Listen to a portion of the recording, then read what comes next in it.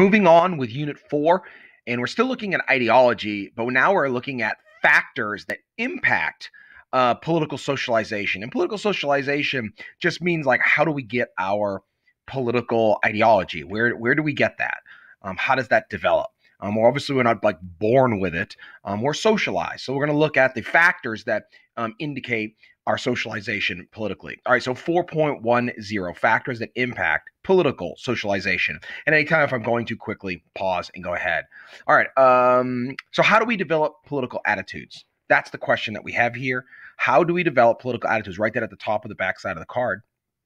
We're going to have five major factors that indicate that uh, that influence our political attitudes. So here we go. This is going to be really fast. Um, one, and the number one issue, the number one factor in your political attitudes are your family, your mother, father, grandparents. Um, if they're if they're liberal, the chance that you will be liberal is very high. If you come from a conservative family, the chance that you're conservative is very high. Now, by the way, this doesn't always isn't always the case.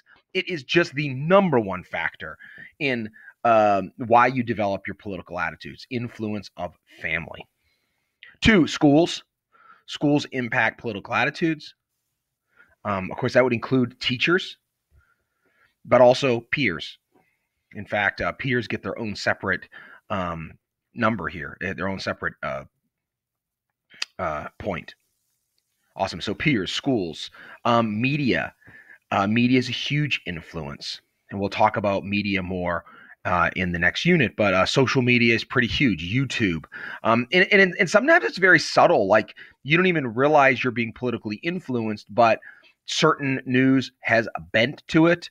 Um, certain TV shows, social media have a political bent, and that influences your political opinions. And then, of course, um, another pretty major factor would be social environment. The civic, community, and or religious organizations that you would you are involved in. And of course, religion um, has a huge impact on voting. It's a very big predictor of your voting habits. And typically, people that attend church typically not always but they tend to lean more conservative all right so those are all pretty big influences on our political attitudes we're moving on to the next card and that is demographic information and how that impacts our ideology and how we vote demographic information 4.11 first we got to define what demographics are and demographic information. If you fill out, if you have to take an AP test or SAT, you have filled out demographic information about yourself. So, what is that backside? It's your age, race, gender, religion, marital status, occupation, education level. All of those things are demographics. And they do, uh, political scientists can look at demographics, and, and we tend to see people leaning one way or the other. Now, again, none of this is exact science. I mean, obviously, someone could be, you know, a certain age and race and religion or gender or whatever, and they still vote different than the, the norm. But we're just talking here about trends. What is it? Trend. And and there are some trends that we can learn when we look at demographics. Um, and they do influence how we tend to vote. Again, tend to vote. I'm not trying to put anybody in a box, or neither are political scientists, but you can learn. Um, and they identify with a political party. I just to use a really funny one is just like what type of vehicle do you drive? If you drive a pickup truck, it's a very high likelihood that you vote Republican. But if you're driving a Prius, there's a pretty high likelihood that you vote um, Democrat. Now, that's not always true, but I'm just saying, like, there's a pretty high trend to that.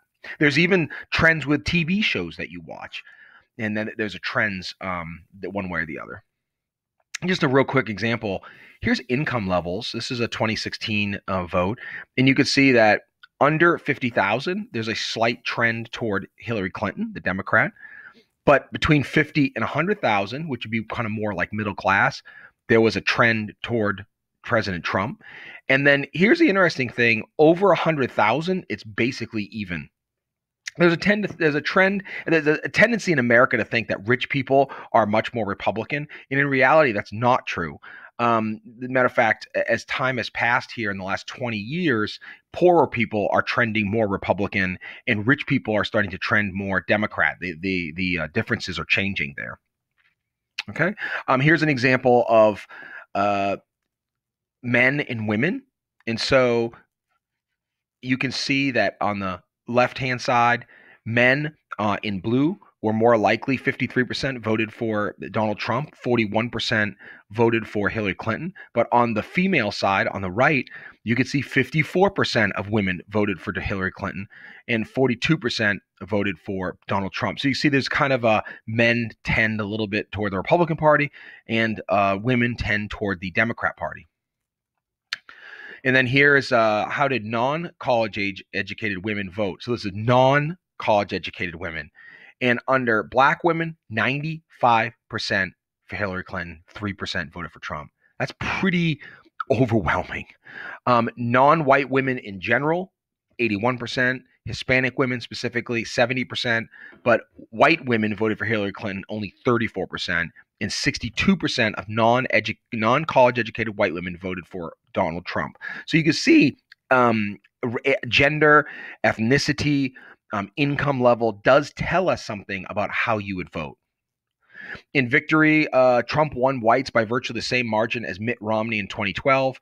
So you can see here, black um, Hillary Clinton won blacks by 80%, plus 80%. But uh, but the year before, in uh, 2012, uh, President Obama won blacks by 87%. So that actually Donald Trump did better among blacks in 2016 than did Mitt Romney. Hispanic voters, plus 44% um, voted for uh, Barack Obama in 20, 2012. But Donald Trump actually did better because uh, Democrats only were plus 36 among Hispanics. So he actually did better among Hispanics than did Mitt Romney in 2012. And then you can see among white people, it's basically the same uh, 20% Republican plus, and then Trump was 21%.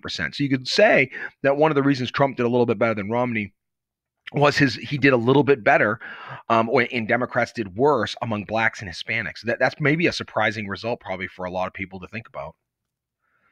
Um and then um huge gaps among whites uh you can look here some college education it was republican plus eight and then college graduate or more, it was Democrat plus nine. So if you were college educated, you're more likely, and you're a white person, you're more likely to have voted Democrat. But if you were not college educated, you are much more likely to vote Republican. But notice how historically uh, Democrats did very well among some college or less in the in the 92 96 election uh, bill clinton won that demographic and so anyway very interesting statistics here or that was all voters, I should say. White voters are on the right; it's much bigger. Um, some college educated uh, on the on the right here for white voters barely voted Democrat, but uh, big numbers for Republicans um, on the right side among white people. And then lastly, presidential vote by religious attendance. If you went to church once a week, you voted 40% Clinton, 50%, 56% Trump. At least once a, uh, monthly, you were slightly 49, 46. Clinton, uh, uh, Trump, I should say. If you just went a few times a year, you know, you weren't that serious about church, slightly Clinton. And then look at if you never went to church, 6231 Clinton. So the biggest demographic that's going to vote Democrat are people that never go to church. And the group that's going to uh, vote Republican the most are people that go to church once a week. So that's a pretty big indicator. Now, notice 40% of people who go to church every week still vote Clinton. So there's some pretty, still significant numbers of people, but we're talking about trending here, trends. Last topic of this um, lesson uh, globalization. Globalization has kind of changed how people view the world and thus how they vote. 4.12 globalization. First, let's define globalization. Globalization is the growth of interconnected world economy and culture. And this maybe has even become more important as we look at the influence of the Chinese government. There's been um, recent um, controversies over TikTok and the fact that the potentially the Chinese government is collecting information on users. Um, also, the spread of, of course, the coronavirus um, has kind of made people question our relationship with China. Um, some in, in because China maybe isn't being as honest as it could about some of the problems that they're having. Um, but this is also globalization has also led to lowered lowered trade barriers, meaning lower tariffs. So that way, trade would increase. And generally, we see trade as a good thing. But some people are starting to really question that, and that's kind of changing political beliefs. Um, communication technology has massively changed the interconnectedness of the world because we can literally talk to anyone around the world um, very quickly due to uh, you know media and cell phones and, and FaceTime and all the different technology improvements. And then um, there's so many other uh, influences of other nations on the United States, and I just mentioned the the growing influence of Chinese businesses and the Chinese government, and people questioning like, is that a good relationship or not? Um, and so that's that's a growing a growing issue.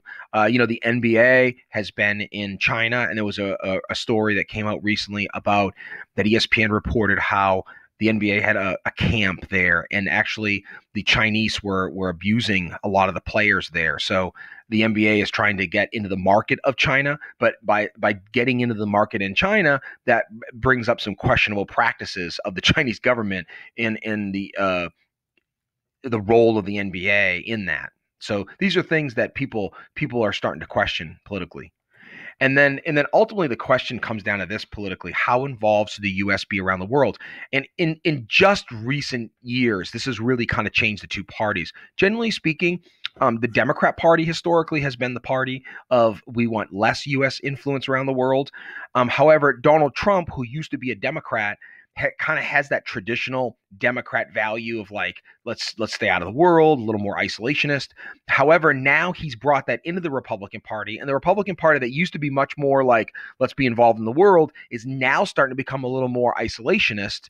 And so you see how like one political figure can kind of change the views of people. And almost as a reaction to Donald Trump becoming a little bit more isola- isolationist, now all of a sudden Democrats are becoming more believers in free trade and interaction with the world. So politics changes people's views and sometimes as a reaction to someone they don't like um, but also the people change their views on something just because of the leader of the party so you know how involved should the us be around the world politically is a question that's going to always be um, front and center of the, the political parties. All right, great. Um, that's globalization. Make sure you study demographics as well. Thank you.